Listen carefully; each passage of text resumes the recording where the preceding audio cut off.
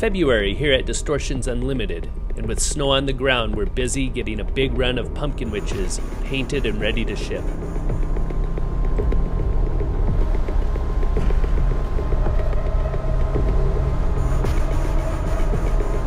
Mondo, I don't know if we're gonna make that 20 minutes. We're not half done, are we? There's a lot of steps that go into making a Halloween prop, from the design to the sculpture, mold making, pouring, pulling, cutting, painting, finishing, just to name a few. We released our Pumpkin Witch in January 2023 on our website, and it was popular right from the beginning. This is our pumpkin witch, new for 2023. She comes with these these gaudy warts and things that are kind of orange, and then she slow fades into a, a fleshy green. And her legs are painted also, you know, the gnarly feet, the little lit pumpkin. We then took the Pumpkin Witch along with many of our other animatronics and props to the Trans World Halloween show and featured it in a spooky scene with other pumpkin props and our new haunted tree.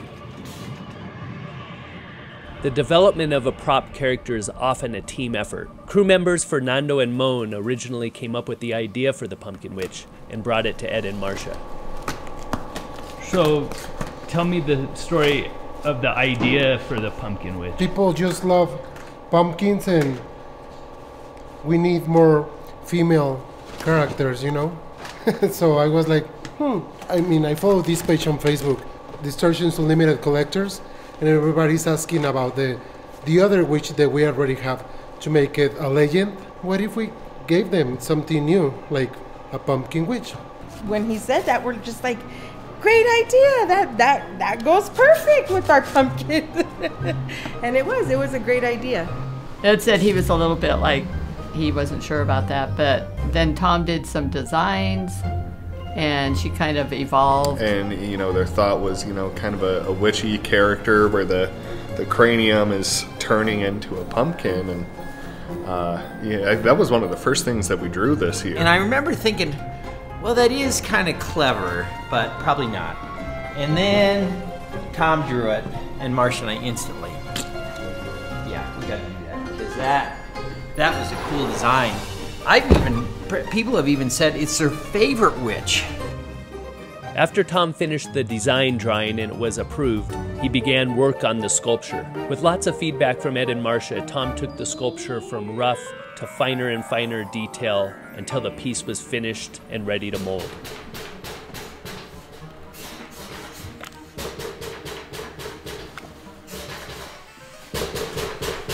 Do you like the smell of latex? Well, I just smell the latex, like a lot of people saying. Some people come and oh, that's so strong, my eyes. Like to me, it's normal now. Mm-hmm. Well, I guess I got used to it after 20 years. Mondo first pours liquid latex into the plaster mold, lets it sit for about 30 minutes, and then sucks the remaining latex out back into the tank. The thin layer that remains in the plaster mold will dry, and that becomes the latex skin of the finished prop. So he then foams the piece, and then it's ready to pull. You're going to hear that. Oh, okay, it's out.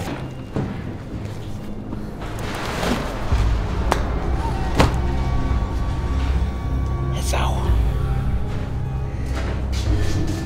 I have 29 out here right now. They're pretty straight cut. There's one of our simpler ones. Lorena has plenty of Pumpkin Witch props cut and ready for the next paint run. But Ed's working hard trying to get the current pieces done and out of paint so we can get the Pumpkin Witches in and based before the day's over. So, what are we doing in here now? Well, we are madly trying to finish this run because it's a hodgepodge run, which I hate hodgepodge runs because it's very unproductive and um, irritating. So we had this room filled with a little of this and a little of that. So we're trying to finish that up quick and get the pumpkin witches in here. It, I don't think people realize how labor intensive this stuff is. There's so many steps.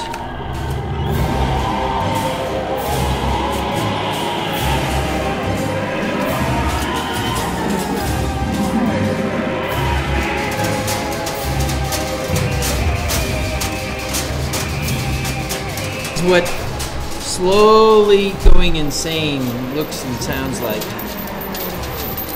You have this relationship with monsters all these years, and they they take a toll on your your noodle.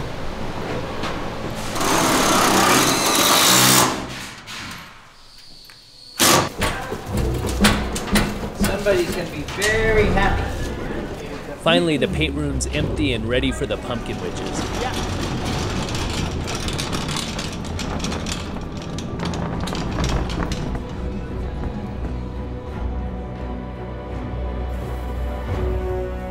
Ed and Tom prepare the witches for paint, gluing on the hands and dremeling. The first paint step is basing the witches.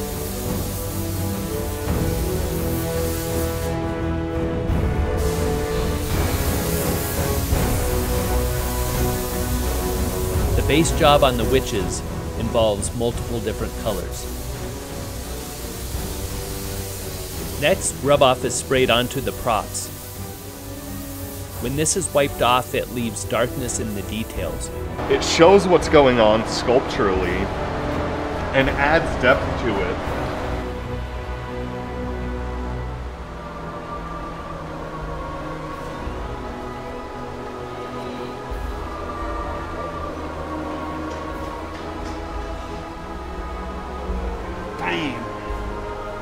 20 minutes. What? 22 minutes.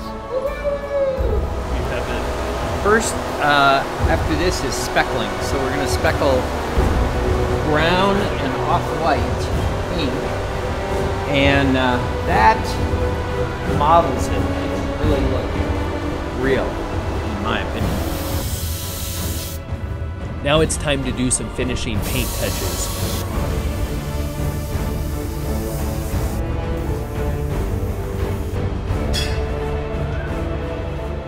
One of the things I love on this is eye placement.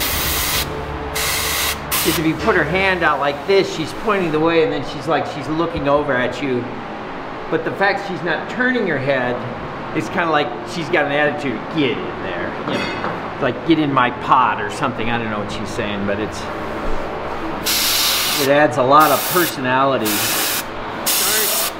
Is this the greatest monster you've ever made? Is this the greatest place to work in the world? Yes! Are you willing to work overtime for free? No! Oh, Tom, now just when you were on a roll. I think the paint job is actually done as of right now on all of these.